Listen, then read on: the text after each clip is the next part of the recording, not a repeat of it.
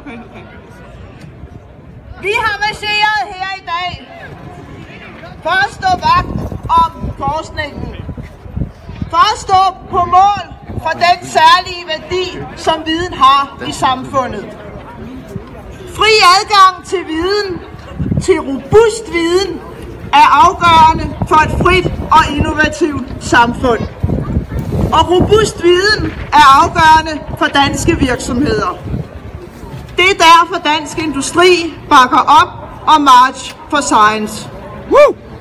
I DI marcherer vi på sagen, men vi vil også handle. Dansk Industri arbejder ihærdigt for flere penge til uddannelse og forskning. Det gør vi, fordi vi skal leve af forskning og uddannelse. Danmarks succes ude i verden bygger grundlæggende på én ting, at danskerne er dygtige. Derfor er det afgørende, at vi som samfund investerer i netop uddannelse og forskning. At vi dygtiggør os. Lige fra folkeskolen skal vi lære at skælne skidt fra kanel. Skælne fup fra fakta. For det er en forudsætning for et frit samfund. Det glemmer vi måske nogle gange. For man kan mene, hvad man vil. Men vi er nødt til at starte med det, vi ved. Fakta.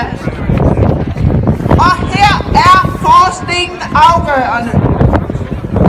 Forskningen kan forandre vores forståelse af verden. Forskningen kan lære os at revurdere vores tidligere antagelser. Forskningen gør os klogere.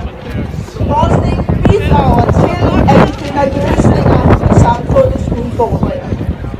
Og forskningen understøtter, at danske virksomheder kan klare sig godt i den globale konkurrence. Fra. Og derfor er samarbejdet med dygtige forskere også afgørende i Danmark for udviklingen af nye løsninger, nye teknologier osv. Og det samarbejde, det fungerer faktisk grundlæggende godt i Danmark. Det har vi en lang række erhvervssucceser at se på. Tag for eksempel Carlsberg. Er jo bygget på et tæt samarbejde mellem erhvervsmanden I.C. Jacobsen og forskeren Emil Christian Hansen. Og det er nok derfor, at Carlsberg er probably the best beer in the world. Og at danske forskere inden for ingredienser, fødevarer, lægemidler, for bare at nævne nogen, er blandt de bedste i verden. Eller se på BO, som i samarbejde med DTU og Aalborg Universitet har skabt revolutionerende lydsystemer. Eller Syddansk Universitet, som i samarbejde med Universal Robots udvikler fremtidens robotter.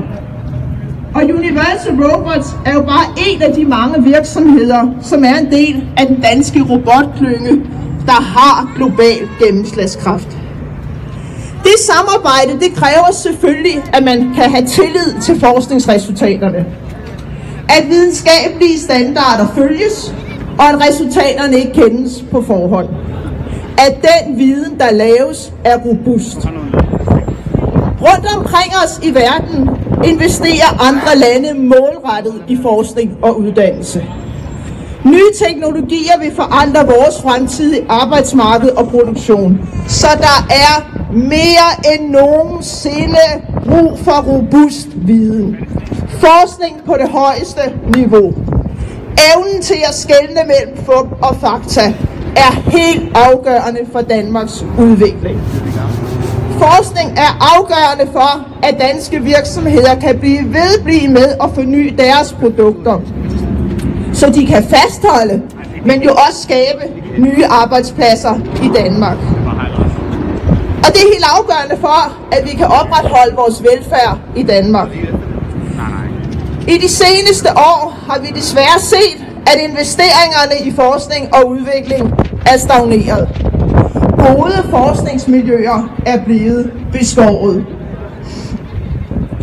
Uddannelsesinstitutionerne er blevet underlagt årlige 2% besparelser. Det er den forkerte vej at gå. Ja!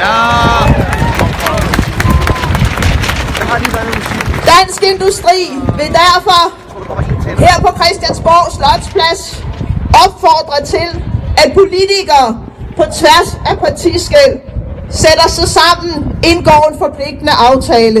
En aftale om at investere mere i forskning og uddannelse. Lad os nu få den globaliseringsaftale nu! Fortsat god dag! Jo, tak.